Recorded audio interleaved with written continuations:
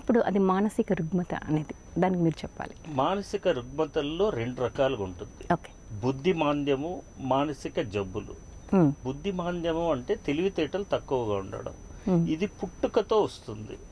పుట్టుక పుట్టినప్పుడు కానీ బిఫోర్ డెలివరీ కానీ వీళ్ళకి ఏమైనా ప్రాబ్లమ్స్ ఉంటే గర్భవతులుగా ఉన్నప్పుడు ఏమైనా మాత్రలు మింగినా లేకపోతే డ్యూరింగ్ డెలివరీ కాంప్లికేషన్స్ కొన్ని అవుతాయి. ఉమ్ము నీరు తాగడము బరువు తక్కువగా పుట్టడము వెంటనే ఏడవకపోవడము వీటి వల్ల ఏమవుతుందంటే వాళ్ళు వెంటిలేటర్ కింద పెడతారు బేబీని.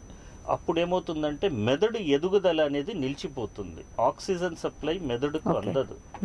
దానివల్ల మనకు ఈజీగా అర్థం అయ్యే భాషలో అంటే చిన్న మెదడు అంటాం. చిన్న మెదడు అంటే ఆ తెలివితేటల శాతం అనేది ఐక్యూ లెవెల్స్ చాలా తక్కువగా ఉండడం. ప్రపంచంలో ఐక్యూ లెవెల్స్ని పెంచడానికి ఉండదు మందులు.